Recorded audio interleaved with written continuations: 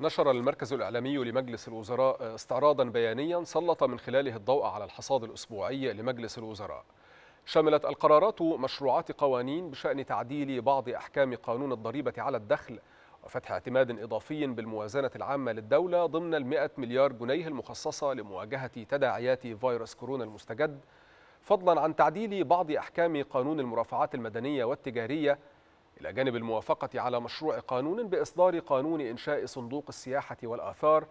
وأبرز هذا الاستعراض البياني الاجتماعات التي عقدها رئيس الوزراء مصطفى مدبولي خلال هذا الأسبوع.